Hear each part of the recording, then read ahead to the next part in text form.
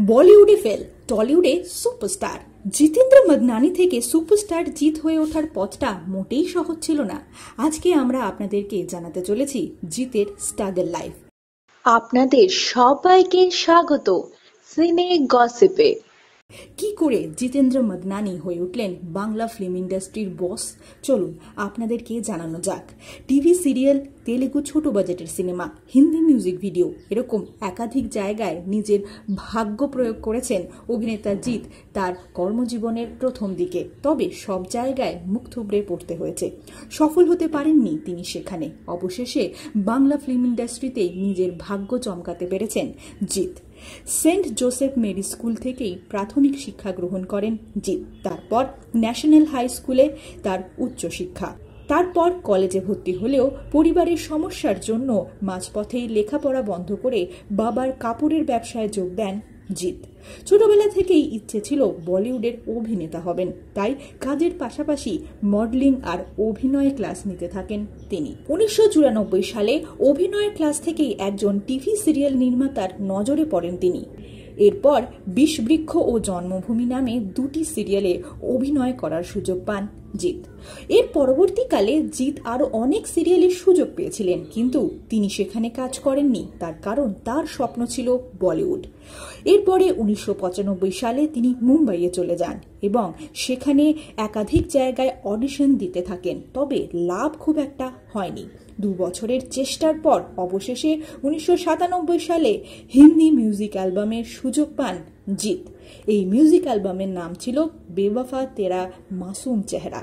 এরপর আরও একটি মিউজিক অ্যালবামের কাজের সুযোগ পেয়েছিলেন জিৎ। তবে বিশেষ সুবিধা হয়নি। এরপর বেশ কয়েকটি হিন্দি ছবির অডিশনে যান জিৎ কিন্তু সেখানে সফল হতে পারেননি। এর পরবর্তী সময় বলিউড ছেড়ে দক্ষিণী ইন্ডাস্ট্রিতে আসেন জিৎ নিজের ভাগ্য পরীক্ষা করার জন্য। তেলেগু, তামিল ছবিতে অডিশন দিতে থাকেন তিনি।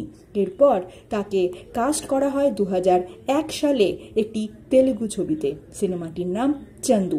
চন্দু ছবিটি বক্স অফিসে মুখ থুবড়ে পড়ে। মানসিকভাবে ভেঙে পড়েন জিৎ, তবে তিনি হাল ছাড়েননি। দু হাজার এক সালে জিৎ আবারও ফিরে আসেন কলকাতায়। এবার তিনি বাংলা সিনেমায় অডিশন দিতে শুরু করেন। এই সময় পরিচালক হরনাথ চক্রবর্তী তার পরবর্তী সিনেমা সাথীর জন্য নতুন মুখ খুঁজছিলেন। তবে শোনা গিয়েছে, হরনাথের প্রথম পছন্দ ছিল প্রসেনজিৎ চ্যাটার্জি। তবে প্রসেনজিৎ কলেজ ছাত্রের চরিত্রে অভিনয় করতে রাজি হননি। এরপর পরিচালক হরনাথ চক্রবর্তী নতুন মুখ হিসেবে এই সিনেমাতে লঞ্চ করেন জিতকে এরপর দু হাজার দুই সালে সাথী ছবিটি মুক্তি পায়।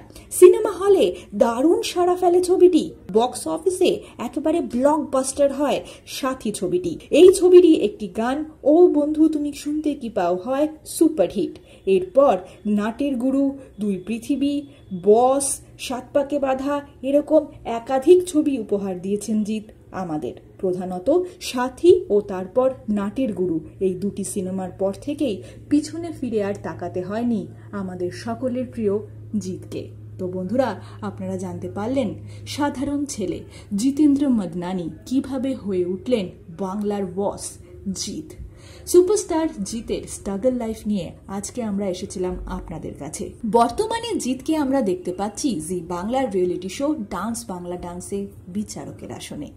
বন্ধুরা, কেমন লাগল জিতের স্ট্রাগল লাইফ জেনে জানিয়ে ফেলুন কমেন্টের মাধ্যমে আর বিনোদন জগতের আরও অনেক খবর নিয়ে খুব শীঘ্রই ফিরছি। জুড়ে থাকুন আমাদের সঙ্গে। আমরা হলাম সিনে গসেপ জুড়ে থাকুন আমাদের সঙ্গে। সাবস্ক্রাইব করুন আমাদের এই ইউটিউব চ্যানেলটি